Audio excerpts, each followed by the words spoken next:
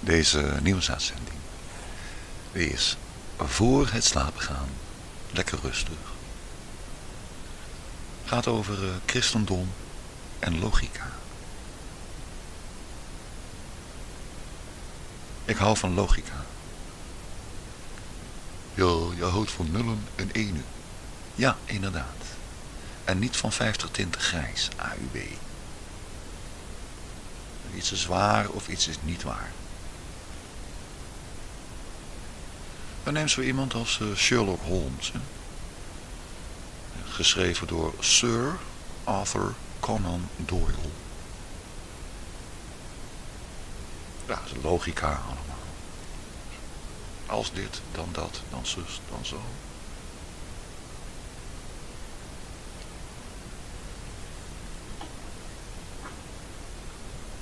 is ook zo'n... Dus ik weer ex falso sequitur quodlibet. Uit het ongerijmde volgt alles. Die kan je ook gebruiken in je bewijsvoering. Dat deed Sherlock Holmes ook. Hè?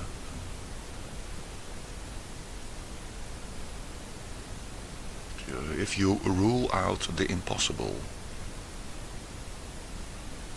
that what remains is the truth.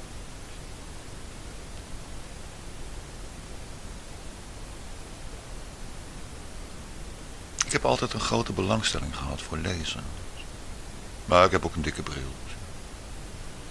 Ik kan moeilijk gaan lopen voetballen in het park. Veel te gevaarlijk met zo'n bril.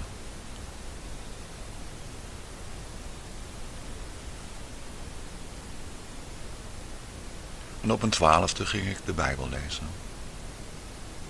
Uit, uh, ja, uit vrije keuze. Mijn moeder, mijn vader was toen weg. Die had mij en mijn zus eh, in de steek gelaten. En mijn moeder natuurlijk ook. Ons in de steek gelaten. Ik ben daar erg boos over geweest. Maar hij kwam weer terug. En in die tijd dat mijn moeder dan uh, alleen met mij en mijn zus zat. Ik was toen tien en mijn zusje was zes.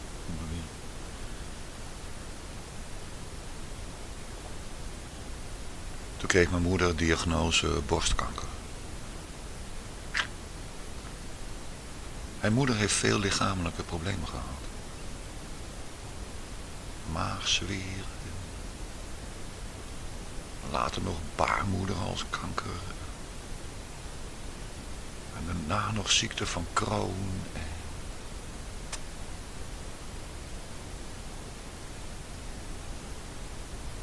Dat is moeilijk hoor. Voor mijn ouders. Voor mijn moeder ook. Mijn vader is inmiddels overleden. Aan een longkankeroperatie. Ha, ha, ha, ha. Nee, mijn vader is niet overleden aan longkanker. Nee.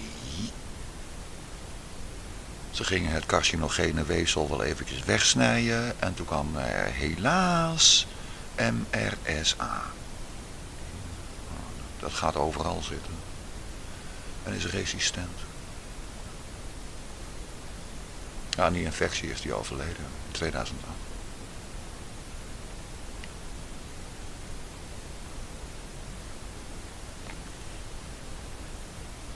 Anyway, eh, toen ik 10, 11, 12 in die tijd zo'n beetje. Had mijn moeder die borstkankerdiagnose en ze moest naar het Academisch Medisch Centrum. Amsterdams Medisch Centrum, het AMC, eh, in de buurt van de Bijlmer. Ze zat te wachten op de bus naar huis. Er kwam er een vrouw naast haar zitten. En later uh, zou ik die noemen tante Hetty. Die werkte in de verpleging. En die deelde een woning met tante Gerda. En die zat ook in de verpleging. En die waren lid van een clubje. En dat waren bijbelgelovende, bijbellezende christenen. En ze hielden helemaal niet van kerken. Ja, als al die kerken nou zo, uh, nou, dan, uh, dan doen we het zelf wel. Dat heet een huiskerk.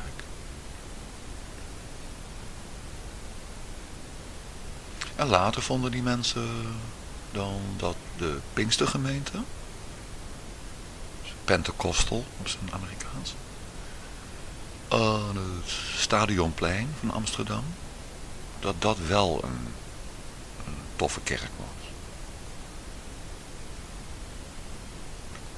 Ja, ik wist ook niet beter.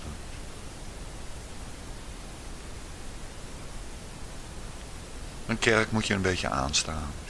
Je hoeft van mij niet de godganse tijd te lopen zingen. Ook geen bandjes op het podium, dat vind ik allemaal niks.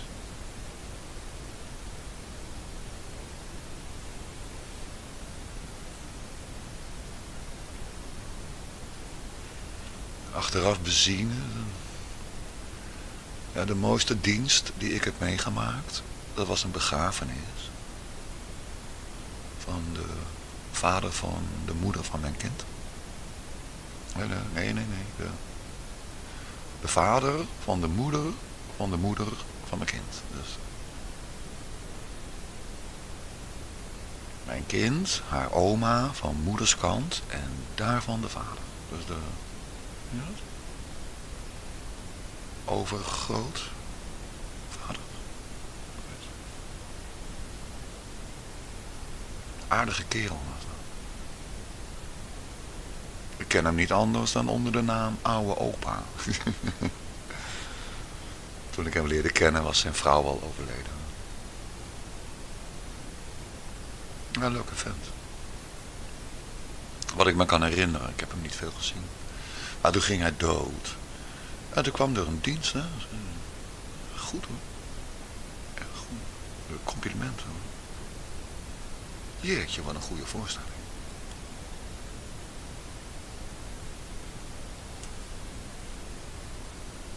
Met het Pinkstergemeente gebeuren, met uh, spreken in tongen. Nee, dat is niet mijn ding. Vond het toen ook al eng.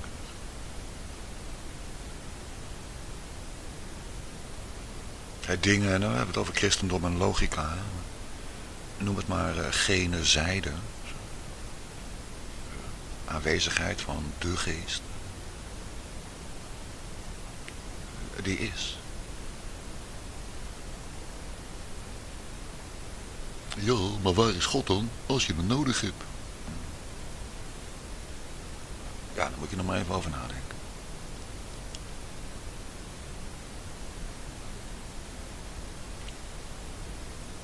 Als je het zeker wil weten, uh, moet je even Alistair Crowley erbij pakken met zijn verzamelde werken. En ga maar een rituaaltje doen. Met een pentagram. En wat kaarsjes erbij. Die wordt knettergek.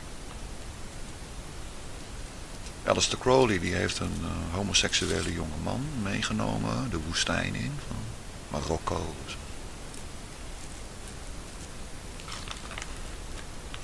Ja, die jongen is in het gekke gesticht beland.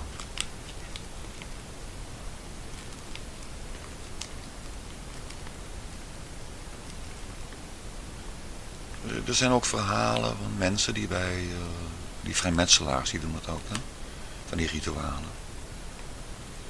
Twee verschillende mensen, op twee verschillende locaties. Dus die mensen kenden elkaar niet en die, die wisten, die vertelden hetzelfde verhaal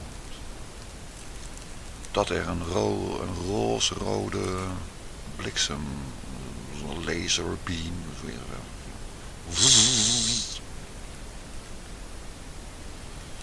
en dan kan je geloven dat dat een lichteffect was. Dat kan je geloven.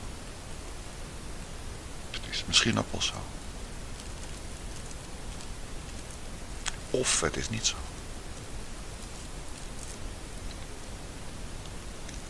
Christus heeft zo mooi gezegd. Uh, niemand komt tot de Vader dan door mij. Waarmee hij bedoelt. Als je graag wat wil doen in de elektriciteitskast. Ja, overleg even eerst met mij. Dan loop niet in je natte zwembroek uh, ja, op zoek naar uh, de stop van de huppeltje pup. Uh, you could be hurt. Kan pijn doen.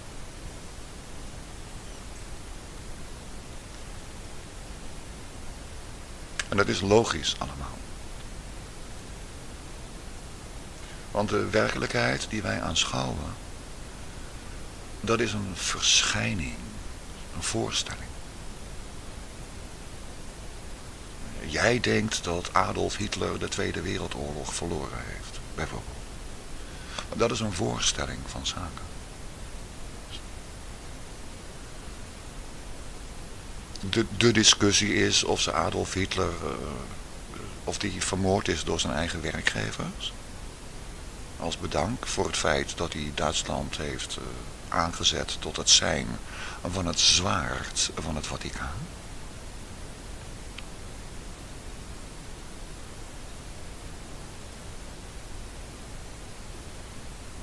Of hij mocht op de boot, net als uh, al die andere nazi-katholiek is dat dan, nationaal-socialistisch. Dat hij in uh, Zuid-Amerika is beland. Ja, je weet het. Er stonden toen uh, berichten in de krant dat Adolf Hitler gezien was in Patagonië.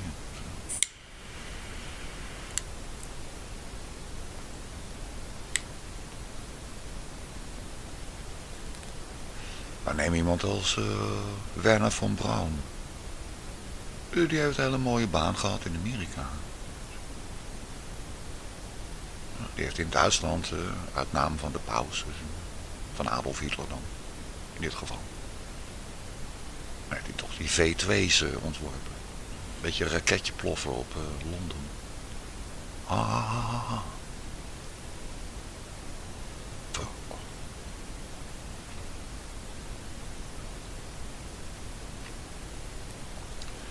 Dus jij denkt dat Adolf Hitler de Tweede Wereldoorlog verloren heeft? Nou, dat weet ik niet. Hij is ofwel vermoord door zijn eigen bazen. Of hij heeft uh, samen met Eva Braun nog heerlijke uh, dingen gedaan. En een beetje burrito's eten in Patagonië. En een mooie mensje. Ja, waarom niet? Kan allebei.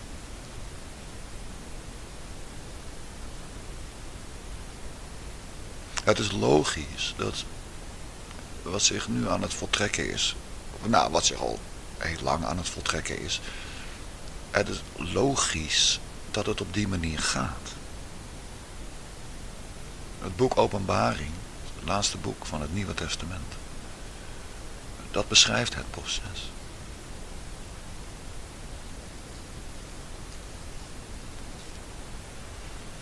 Dat was bekend. Het is logisch. Je kan eh, als mens besluiten, of als familie besluiten, dat je plantenteler wordt. Ja, ga er maar aan staan. En wat ga je dan doen? Komkommers, courgettes, eh, tomaten. En als je fruitvlieg krijgt of zo, of een of andere, andere kutbeestie, wat moet je dan doen?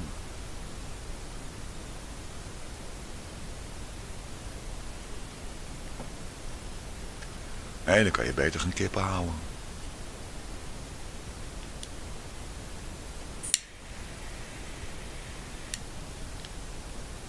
Koeien. Vissen. Veeteelt. Veeteelt, visteelt. Nou, dat is ook leuk. Je kan ook, uh, dan ga je een gat graven in de grond. Dan ga je kolen omhoog lopen halen. Uh, zwaar werk. En wat moet je nog meer doen dan? Ja, je bent zo slapjaan als ik en dan ga je eh, een beetje lopen programmeren op computers. Nee, de beste business is het houden van mensen.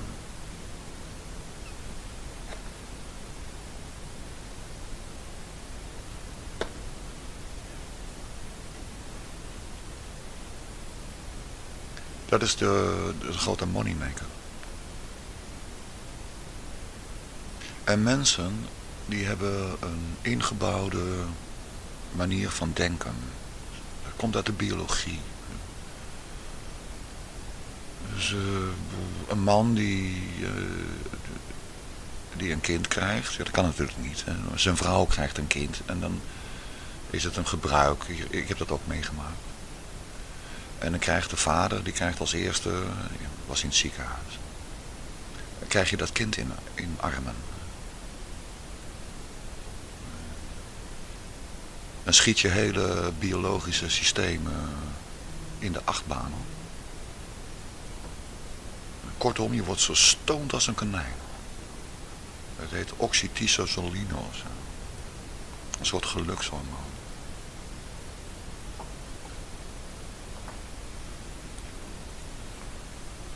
En dat is nog maar het begin.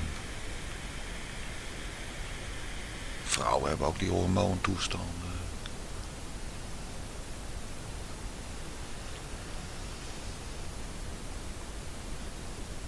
En die hoedanigheid van mensen, eh, die is bestudeerd. Carl Gustav Jung heeft daar een mooie analyse van gemaakt. Dat, zijn, dat is samengevat in het boek Archetypen. Ik heb het hier gehad. Ik ben kwijt. Jammer. Jouw denken bestaat uit een aantal vormen categorieën. Zo.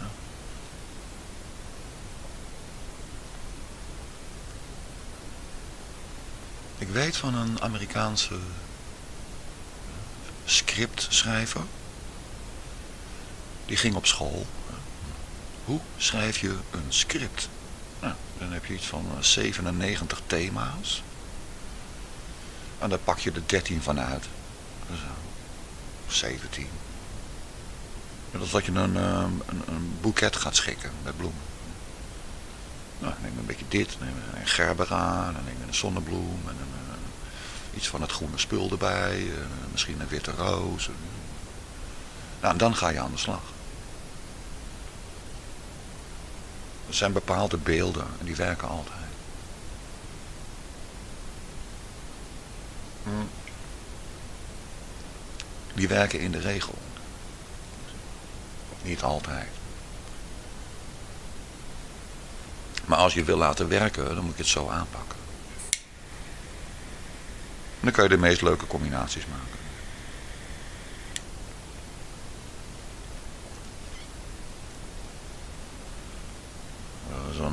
Zo'n typische is dan dat uh, een meisje van acht jaar fietst op haar fietsje terug van school naar huis. En ze ziet een klein hondje de weg oversteken. En de bus komt eraan en zij gaat op de trapper staan en sleurt dat hondje vlak voordat de bus eraan komt van het asfalt. En houdt het onder haar arm. Ja, dan krijg je helemaal een wow van. Dat het een beetje goed uitwerkt. Maar de rest werkt ook. Ook hele vervelende dingen. En die doen ze. Ik heb met verbijstering zitten kijken, tanden knarsend zitten kijken naar de tv, die mijn dochter aan het aanschouwen was. En Miley Cyrus. Zo'n transseksual of zo.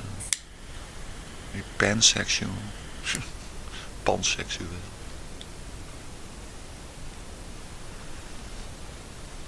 Ja, zo. Het is de wereld. En wij doen er helemaal niks aan. Wij kunnen daar niks aan doen. Als je je kind gaat verbieden om, uh, nou, zeg naar Hannah Montana of zo te kijken. Of Jake en Josh, dat is zo mogelijk nog kotsmatiger. Ik weet niet of je die kleuterseries kent. Of is het nou kleur? Ja, nee, het is niet voor kleuters.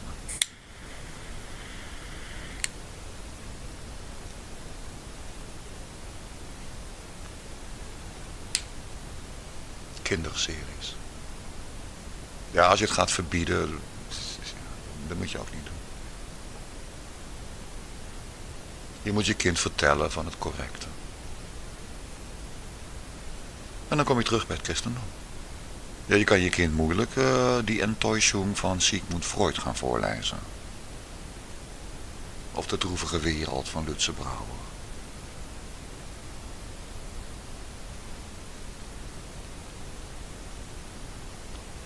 Dat zou niet doen. Maar een Bijbel. En er staat alles in. Alle denkvitamines.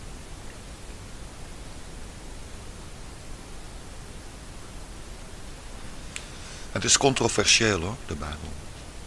Veel uh, bizarre verhalen in. Dat is Hosea die dan een prostituee zwanger maakt. Ik weet er het fijne niet van. Maar het is zoiets dat hij dat ene, toch één of twee kinderen of zo. En het eerste kind, dat heette niet mijn volk.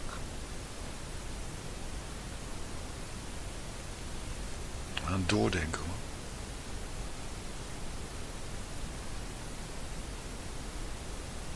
Nou, de tien geboden van Mozes.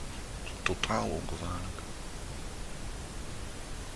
Om het even uit te leggen, er is maar één God. Niet omdat het in de Bijbel staat, nee. Het staat in de Bijbel omdat het waar is. Dus als je een gedachte hebt, een idee hebt van, uh, oh, nou, volgens mij is goed. Ja, dat is er maar één. Ja, hoe zit het dan met die engelen?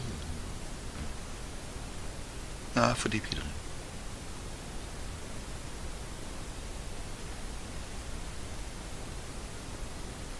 Pikant detail, hè? Ik ken een man, die, heb ik een interview mee gedaan. Alal heet hij. Die komt uit Koerdistan. En zijn religieuze achtergrond is uh, Zoroastrisme of zo. Ja. Zohar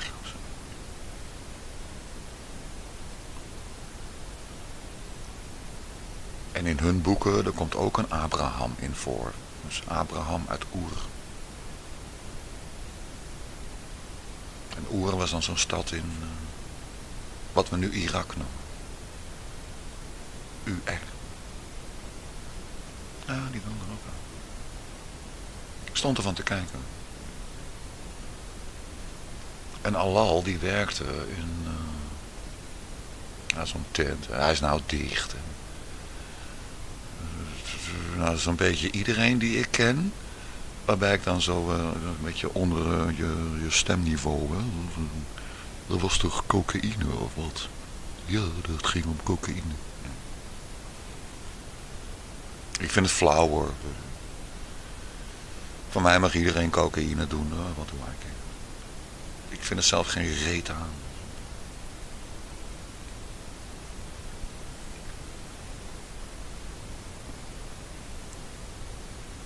Nee, dat is niet mijn ding. Als je dan toch die kant op wil, uh, doe dan maar speed.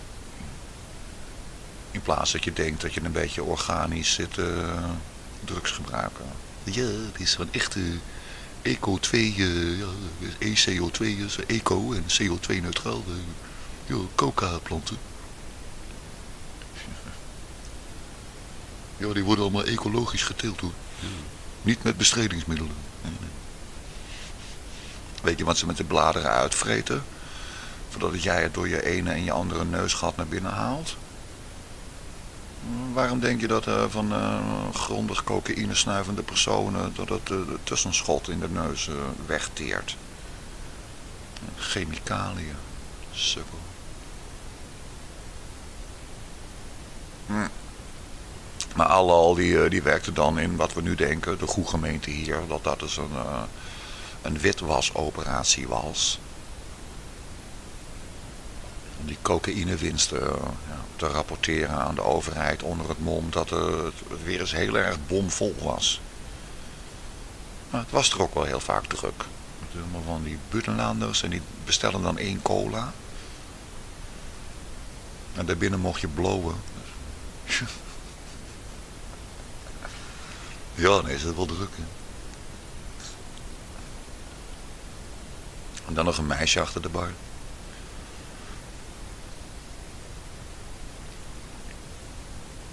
Ali vond ik wel een leuke vent. Die was er niet de baas op. De uitbater of zo. Weet zo iemand. Ze hadden van die gevaarlijke jongens zaten erachter. Dat, weet, dat weet ik. Geen probleem. Nou, Alal die stond er achter de bar. Ja, die jongen moet ook wel. En er zat er zo'n zo'n regelrechte Marokkaanse Mohammedaan, Mohammedaan een grote bekdame. En Alal legde netjes uit van, kijk lul. Nee, hij kan geen Amsterdamse, maar op zijn Amsterdamse zei hij tegen die, die mokro Mohammedaan. Dan kijk lul, wat doe ik nu? En toen hield hij een hand voor een van zijn ogen. Wie ben ik nu? Nou, die Mohammedaanse mokgaan, die snappen er helemaal niks van. Hij zei, ik ben de gevallen engel. Die heeft maar één oog.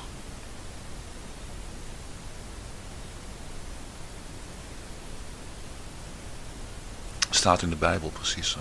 Ja, niet dat met het ene oog of zo. Maar je ziet het wel terug hè, met, met Miley Cyrus, met al die andere Leonardo DiCaprio. Cover your eye. Waarom is dat trouwens? Eh, heb je dat begrepen? Het gaat over christendom en logica. Hè? Het is logisch namelijk.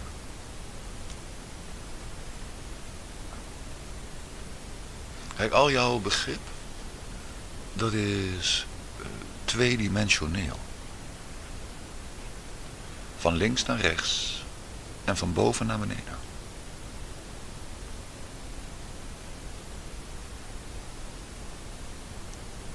Dat is een beeld wat je hebt. Stel je krijgt van iemand een brief. En die zegt dan, beste Perry, het doet mij verdriet om je te vertellen dat Poekie dood is, of zo. Poekie was een poes van mij. Dan kan iemand vertellen van, nou, we hebben dit gedaan, we hebben dat gedaan, we zus gedaan. En dan nog een foto erbij van het uh, poesengraf. Maar dat is een beeld. Dat is tweedimensioneel. Alle communicatie is tweedimensioneel. De werkelijkheid niet.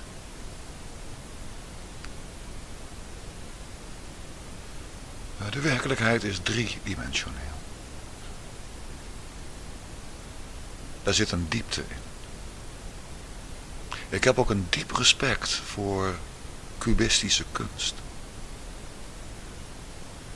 Die speelt met, uh, dat, met die discrepantie. Ik heb een heel mooi cubistisch schilderij gezien. Geschilderd vanuit een strandtent ergens bij Scheveningen. kon je alles in één keer zien. Net alsof je de ruimte inging. Dus 3D als het ware. En dan kijk je naar rechts en dan zie je dit. En dan kijk je naar boven en dan zie je dat. En je gaat niet dat schilderij in. Nee, je kijkt er alleen maar naar. Cubisme is een hele goede kunstvorm.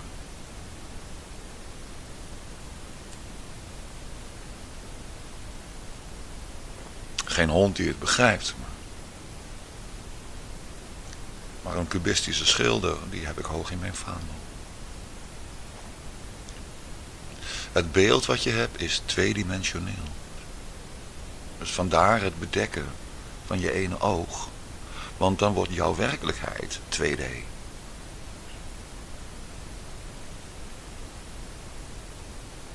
En dan word je gemeen. Ga je allerlei dingen kunnen doen die je helemaal niet mag doen. Daar krijg je huilende baby's van. Krijzende schoonmoeders. uit hun dak gaande buurmannen. Ontploffende auto's en andere doden.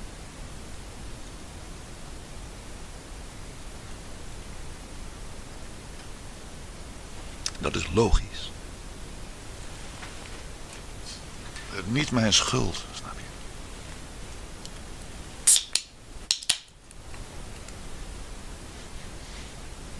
Christendom en logica. Kijk, de, de materie veroorzaakt denken. Dat klopt.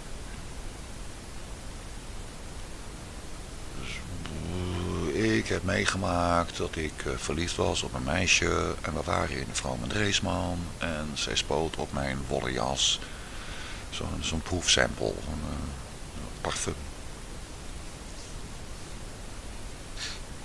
Maar nog jaren later, als ik dat luchtje rook, een beetje, het was een beetje zoet bitter zoet-bittere lucht. Ik weet niet hoe ze dat maken. Maar dan rook ik die zoet-bittere lucht weer. En dan was ik weer helemaal terug in de vrouw. Inmiddels is die failliet, hè, de vrouw.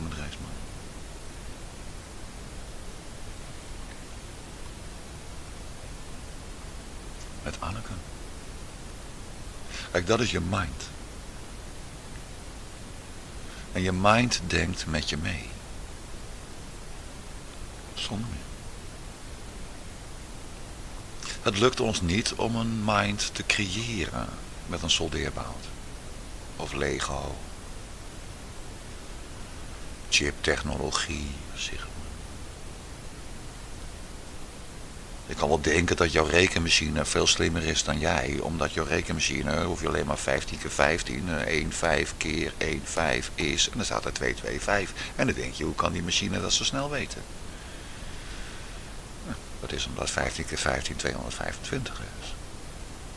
12 keer 12 is 144.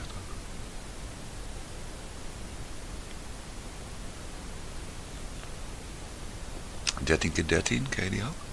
169. Ah, dat is een kwestie van uit je hoofd liggen. Maar wij kunnen rekenen. Een rekening houden. En computers niet. Dieren ook niet. Planten al helemaal niet. Planten houden geen rekening. Die groeien alleen maar. En dieren hebben een beperkt begrip. Ze hebben apen, hebben ze taal kunnen leren. Maar daar moet je je niet al te veel mee voorstellen hoor.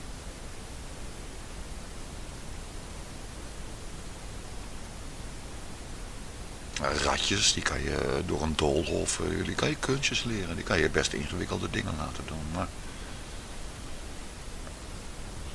daar houdt het wel mee op.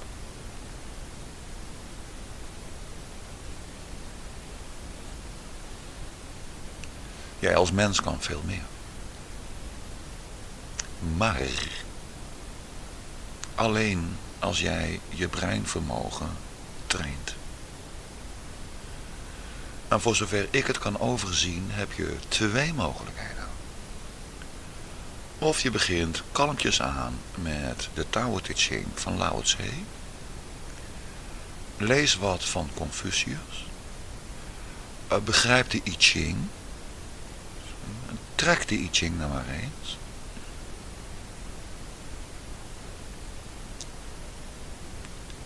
De I Ching, als, ik weet niet of je dat kent, het boek der veranderingen. 64 fasen. Met ik weet niet hoeveel overgangsfasen. Want je kan van 13 naar 64 eh, of je gaat van 13 naar 27. Het ligt er maar een beetje aan. Nou, dan begin je zo lekker rustig. De Dhammapada van Boeddha, is aanbevolen werk. Niet te dik. En de Tao Te Ching van Lao Tse, dat is een hartstikke lief boekje. Daar krijg je gelijk zin van in uh, Chinees te gaan eten. Lekker met lotuswortel. en aan lotuswortel is uh, Boeddha overleden. ja, dat ik het ook even weet. En dan uh, de, de, de Mahabharata zou ik... Nou, dat is categorie uh, in de band van de ring. Een mooi sprookje. Even spoiler alert van de Mahabharata. Is dat uh, de held. zijn vijanden, de, de klootzakken, die zitten in de hemel. En hij wordt dan als held dan ook de hemel ingeroepen. Maar inmiddels heeft hij een vriend en dat is een woef woef. Een hond. En die wil die per se meenemen naar de hemel. En dat gaat niet door.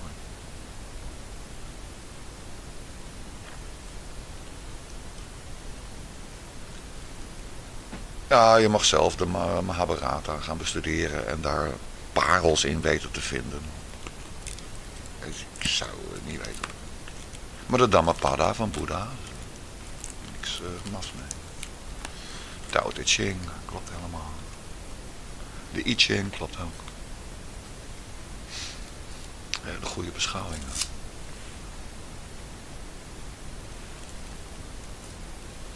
Nou, dan heb je dat gehad en dan uh, duik je de... Ik zou... Ja, Plato zeggen ze dan, maar... Mm, nee, daar word je... Nee, ik zou het niet Je hebt dat boek van hem, De Staat. Maar daar word je niet blij van, man. Zo'n blauwdruk voor uh, fascistisch, communistisch, uh, democratisch, uh, katholiek, universele wereldorde. Maar om die reden kan het interessant zijn voor jou om de staat van Plato te gaan lezen. Ik zou er niet te veel tijd aan besteden hoor. Surneuswerk. Ik vind Plato een surneus. Aristoteles zou ik ook niet doen. Ik zou niet weten wat die kerel nou... Uh... Hij heeft hem opgeschreven... Anima est quodam modo omnia. Aristoteles had het over de ziel. Anima, de ziel.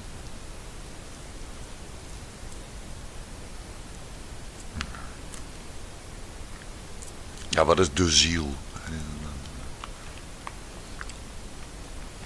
Waar komt de ziel vandaan? Ja, Aristoteles zou ik links laten liggen.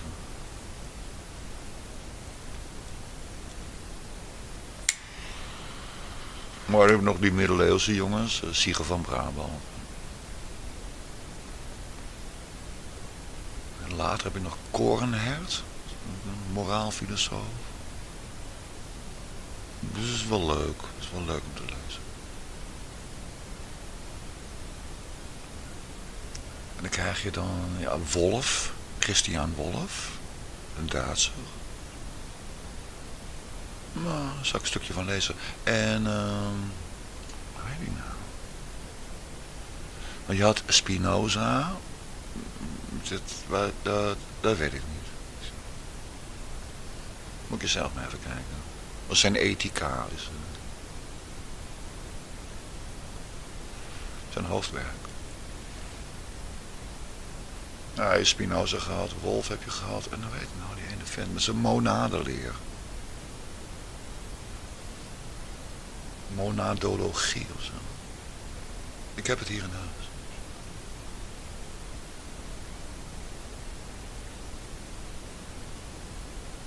Die man die was tevens wiskundige. Die heeft geschreven in de tijd van Isaac Newton.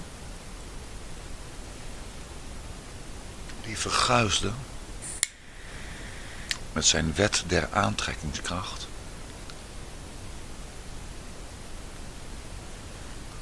De aantrekkingskracht neemt af, vermindert, met het kwadraat van de afstand twee objecten. Dus op zijn Duits is dat gegenstanden. zwei Gegenstanden, die, die ziehen einander an, die trekken elkaar aan. En die aantrekkingskracht vermindert zich met het kwadraat van de afstand tussen die twee objecten.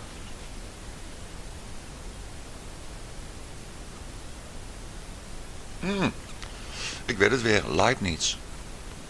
Want Leibniz heeft precies hetzelfde geschreven, by the way.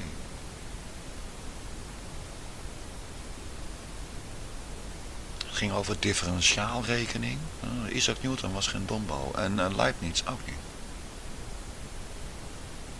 Als een mono, mono, monodalogie of zo.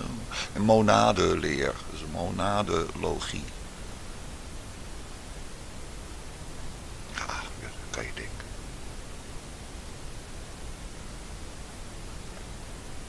Heb je nog René Descartes? Ja, Hugenoot. Die Spaanse, nee, nee, ik kwam niet uit Spanje. Ik kwam uit Frankrijk. Spinoza kwam uit Spanje, uit Portugal. Nou, in Engeland zou ik uh, Locke zou ik lezen. John Locke.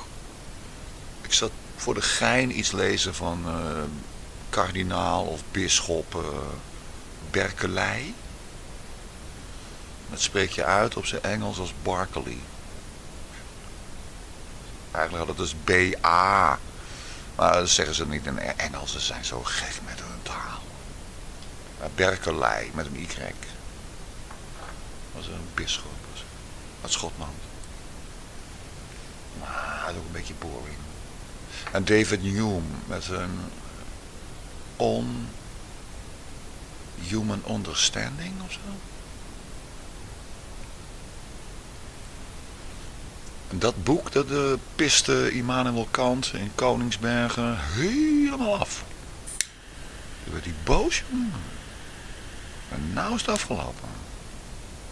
Ja, en toen kwam de... Dan wordt maar de verlichting.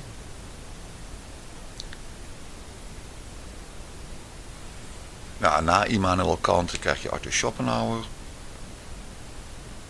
Die zet er even mooi een, toetje, een tufje slagroom op het werk van Kant.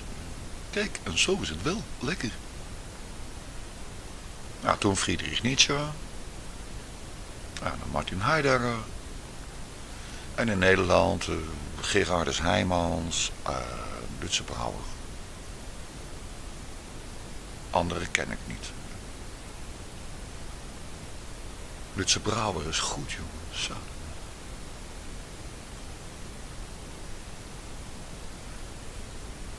Heijmans ook hoor. Ja, als je dat allemaal wil doen, je moet er maar de tijd voor hebben en de benodigde poen. Alleen die boeken aanschaffen, dus is, ga er maar aan staan. Dat is de ene weg. Heb je wel een mooie boekenkast van.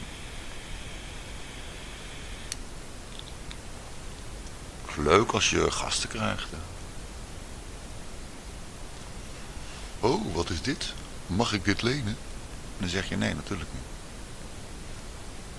Als je boeken uitleent, dan kan je ze net zo goed weggeven.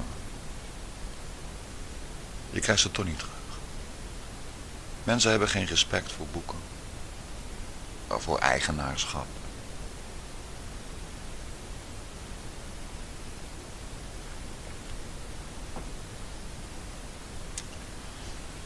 Heb ook een keer een boek geleend, een schaakboek. Dat heb ik nooit teruggegeven.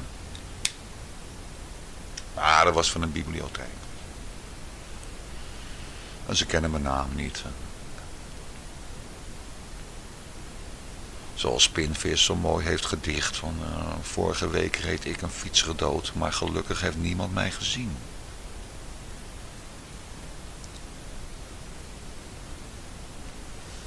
Ja, je blijft lachen. Maar de wereld is niet leuk. Ja, en dan die andere weg is dan uh, de Bijbel. De volksweg. De Bijbel is de volksmetafysica. uh, metafysica voor het, voor Los Populus, Les Peuples, oftewel het gepeupel. Want ik snap wel degelijk dat uh, geen hond van jullie zin heeft om uh, zelfs maar Sieger van Brabant te gaan bestuderen. Stelt ik geen reet voor, maar uh, dan nog. Ik weet dat ik geen reet voorstel. En jullie niet. Kornhert vind ik wel tof. Lao Tse vind ik cool. Boeddha vind ik cool. Dat je een beeld krijgt van de menselijke moraliteit. En als je ziet wat moreel is, dan zie je ook het onduidelijke. En het onduidelijke is niet voor jou om te bestuderen.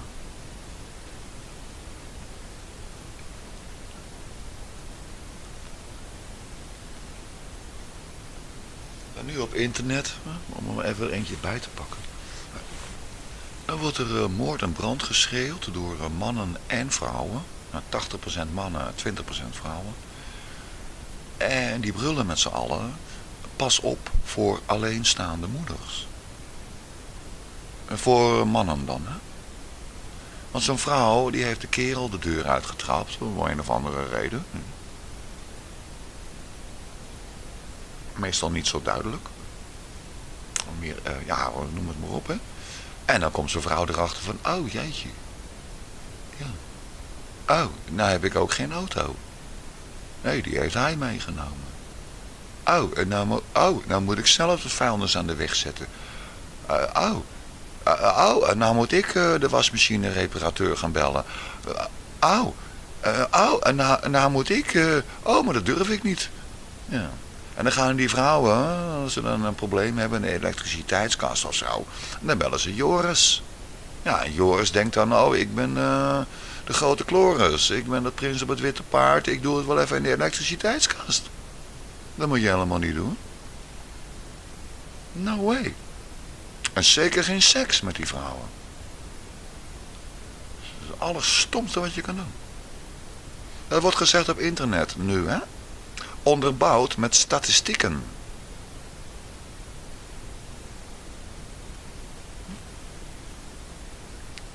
Dus als jij een, uh, even wat ze zeggen, hè? En wat, ik, ja, nee, wat zij zeggen op internet, hè? Als jij als man een, een vrouw ontmoet en je denkt, nou wat leuk, ze heeft een rok aan en nou, best wel leuke schoenen en nou, daar loop je niet voor gek mee als je die uh, aan je arm hebt. Niet dat iedereen denkt van, jeetje, wat een lelijke vrouw. Hè? Ja, Zo'n vrouw dat je denkt, oh, die wil ik wel meenemen naar een receptie. Uh, voordat het serieus gaat worden, dan vraag je zo terloops, uh, heb je wel eens seks gehad met een man? Als die vrouw zegt nee, dan zeg je, oh ja, sorry, Ja, dan heeft ze dus geen seks gehad. Maar stel ze zegt, ja, ik heb seks gehad met mannen. Dan is jouw volgende vraag, hoe oud was jij toen jij voor de eerste keer seks had gehad met een man? Als ze dan zeggen 12 jaar, dan kijk je op je horloge en dan zeg je, oh, het is al zo laat. Ja, ik hoef niet gelijk weg hoor. Dan kan je de koffie nog even uitdrinken. En eh, de ober roepen voor de rekening. En, uh, nou, dan geef je van die air kisses. Hè, want, zo, niet dat je daar haar make-up beschadigt. Zo, Air kisses. En dan ga je weg. Want de kans dat iemand die op vroege leeftijd, een vrouw dan, hè, seks heeft, even voor de mannen, hè, seks heeft gehad, de kans dat daar een duurzame relatie uit, uit ontstaat, dus 10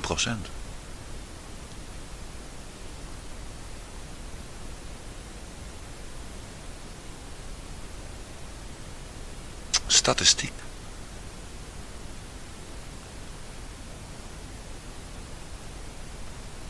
Het helpt niet. Je richt jezelf alleen maar te gronden als je je inlaat met zo'n vrouw.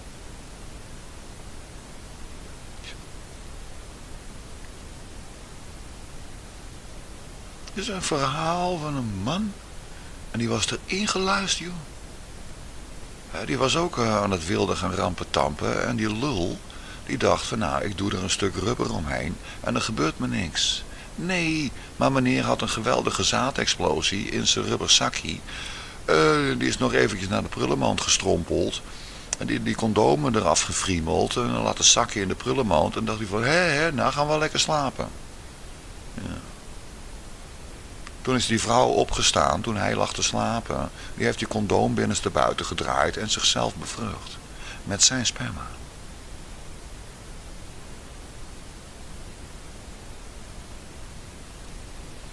Die neukpartij die heeft hem 100.000 dollar en zijn maatschappelijke carrière gekost. En ziet zijn kind niet meer.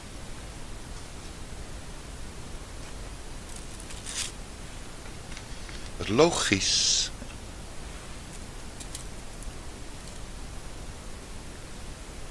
Je moet helemaal geen uh, seksdingen, recreatief, bla bla bla bla. Ja, maar omdat zo'n penis past in mijn voorgehalte, ja, wil ik toch wel even kijken of het echt klopt. Nee, dat hoef je niet te controleren, want het klopt. Niet neuken. Niet doen. Ja, tenzij je op aarde echt in de hel wil gaan verblijven. Wees mijn geliefde gast. Wie zijn het ook alweer? Satan of zo. Burn, baby, burn. Het is allemaal erg logisch. Hè? Kijk, de materie denkt na. Het is vastgesteld. Jij kan ook dat experiment doen. Dan moet je morgen, dan moet je vanavond, moet je de koffie, als je koffie drinkt morgens, hè, die moet je in het andere kastje stoppen. En dan kijken of je het morgenochtend nog weet. Waarschijnlijk loop je morgenochtend zo heel slaapdronken zo. En dan doe je het verkeerde kastje open. En denk je, hé, hey, de koffie is gestolen. En dan denk je, oh nee, maar niet zonder koffie. Nou, oh, ik weet, oh ja. En dan het andere kastje open. Ja, dat had ik gisteravond gedaan. Maar dat was ik even vergeten. Dus materie denkt. Maar het is een subdenken. Ondergeschikt denken.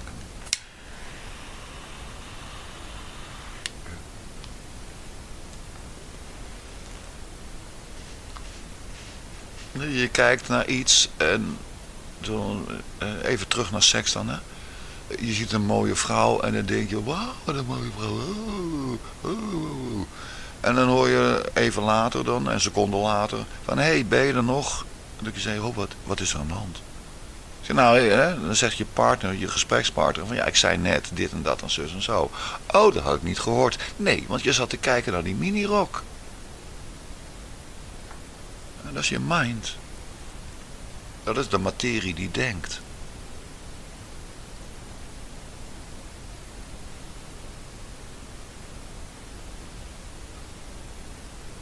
En die moet jij in bedwang houden. Punt 1.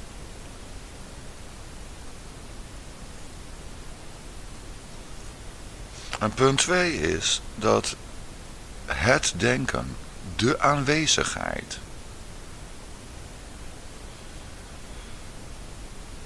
wordt niet veroorzaakt door materie. Niet het denken.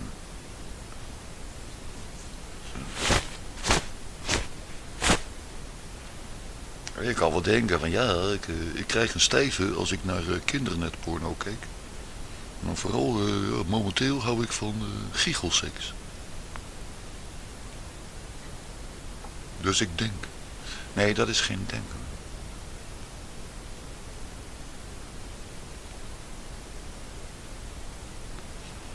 Dat wordt niet voor... Het denken wat wel is, is dat je ziet hoe droevig deze wereld is. En die blik, die aanwezigheid, wordt niet veroorzaakt door materie. Het is God die door jou aanschouwt, wat voor een kutzooi het is.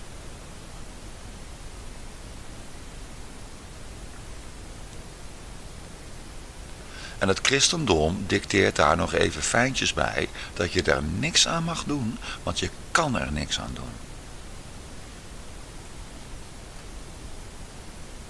Uh, niet gaan uh, frottelen aan, aan toestanden die je niet kan repareren.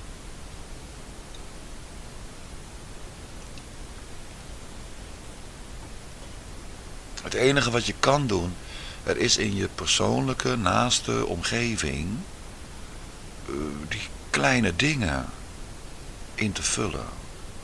Die hele kleine dingen. Hou er goed rekening mee. Denk om die kinderen.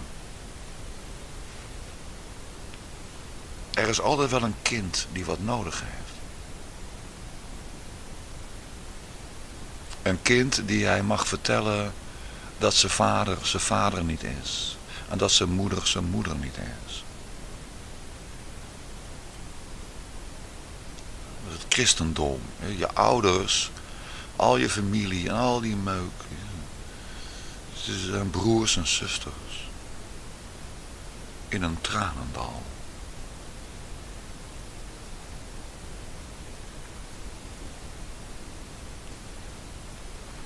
Je kan zeggen dat het vervelend is, eh, wat ik nou ga zeggen, maar wij zullen overleven. Dat is logisch.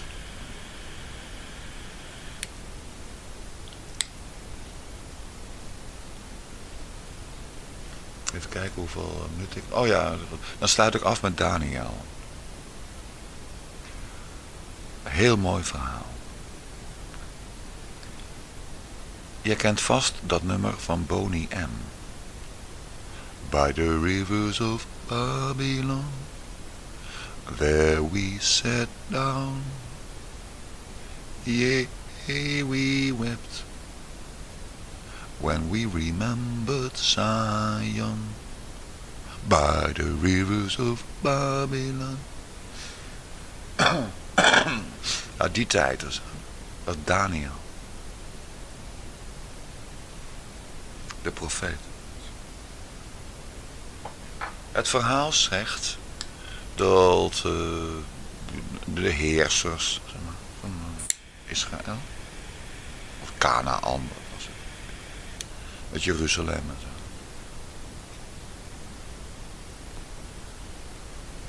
Die werden afgevoerd naar Babylon. Alle landbouwers en uh, het voetvolk dat, mocht, dat werd niet afgevoerd naar Babylon. De rich folks, de rijke lui. En Daniel ging mee. En Daniel was voetvolk, hij was een profeet.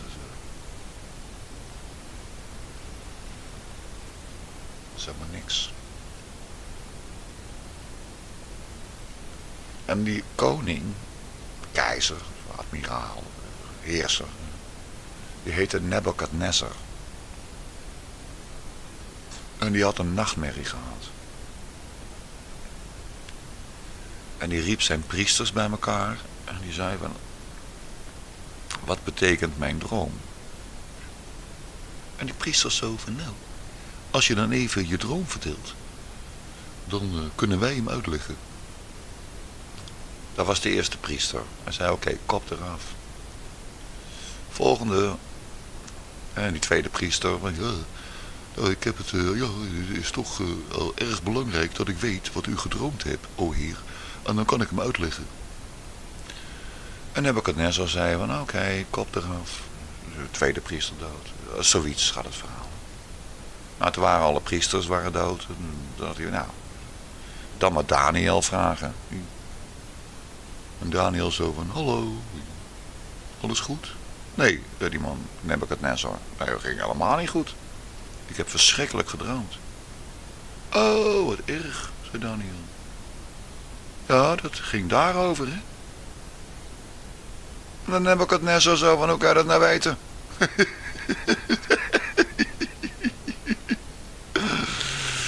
dat is zo simpel. Christendom en logica. En Joden zijn, ja, vooral die Ashkenazi-Joden, die zitten op een IQ van 110 gemiddeld. Hè? Dat betekent dat uh, een kind van ons, van 11, dat is net zo slim als een Ashkenazi-Jodenkind van 10. Als je het over tienjarigen hebt.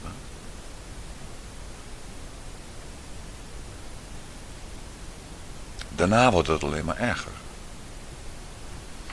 Joden zijn vrij slim. Ze zijn de slimste. Gemiddeld dan. Vind Die hebben Christus voortgebracht. Logica all over the place. Snap je?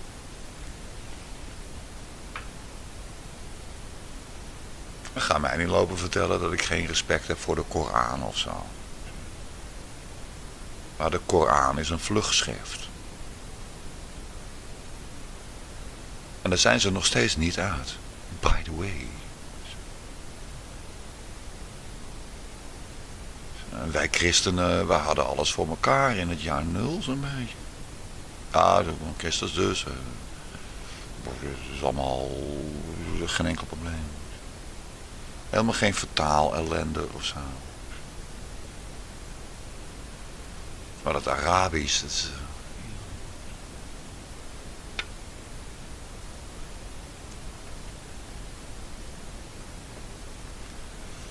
is moeilijk hoor voor die mensen.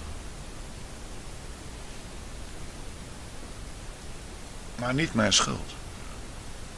Elke Arabier kan hier om de hoek een King James kopen voor 8,95 euro. Krijg je nog een plastic tasje mee ook of zo.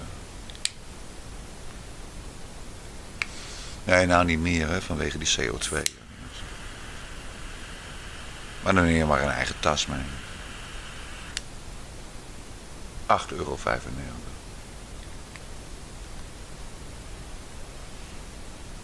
Bestudeer de Bijbel en verdiep je in logica.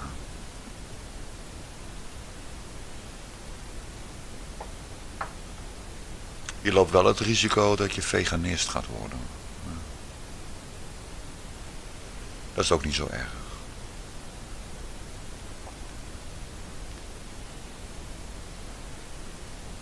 Ik zelf ben het niet hoor. Maar het risico loop je wel. Dat je heel gevoelig wordt. Dat je genoegen neemt met aardappelen, lekker met ja, even lekker veganistisch recept. Hè. Dat is een onderdeel dan. Hè. Eh, je koopt uh, een, een, aardappel. Uh, dat maakt niet uit. Dan moet je even rekening houden hoeveel gasten. En dan ga je 20 minuten koken. En onderwijl maak je een goede melange. Arachideolie, curry, komijn, koriander, knoflook, eh, zeg maar. Nou, die aardappel heb je gescheeld en, en gelijke stukjes gesneden en die lekker lekker koken. Dan is die dan 20 minuten water afgieten en dan gaat die meuk gaat erin, die jij klaargemaakt hebt. Peterselie, eh, zeg het maar wat je erbij wil. Ik kan ook Italiaans gaan, zonder curry. Alleen maar paprika. En dan ga je die aardappels met die, die vette meuk, die argieteolie, bets, bets, bets, bets, bets in de pan. En dan krijg je krakelee aan de buitenkant van de aardappel. Ja. Dan de hele meuk in een ovenschaal. De oven stond al aan. Die is lekker heet. 200 graden Celsius. En dan drie kwartier. Lekker. Je eet je vingers erbij op. Hoor beetje zout erbij. Ja, aspergieboontjes. Wat champignons is altijd goed. heb je je hele buik vol.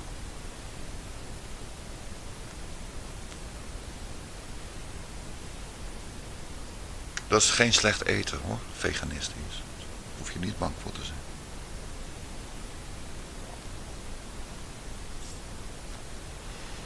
Hartstikke bedankt voor het luisteren hoor, over christendom en logica.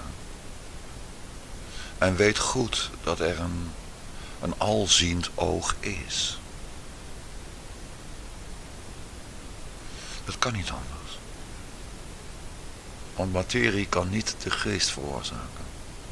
Dus moet de geest de materie veroorzaken.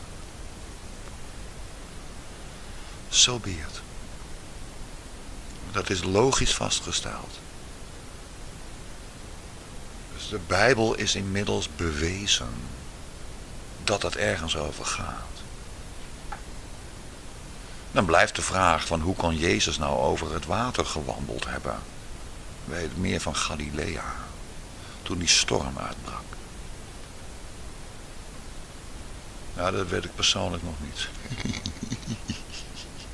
ik heb wel mijn vermoedens, maar ja. Maar toen Christus zei, zalig zijn de armen van geest. Toen had hij gelijk. Beter kan je de droevige wereld maar niet aanschouwen.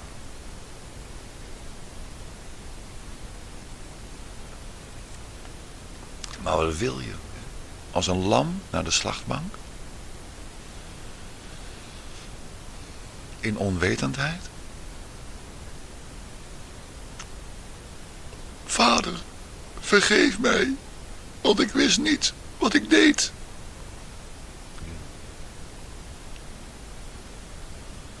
Ik weet niet of onwetendheid een zonde is.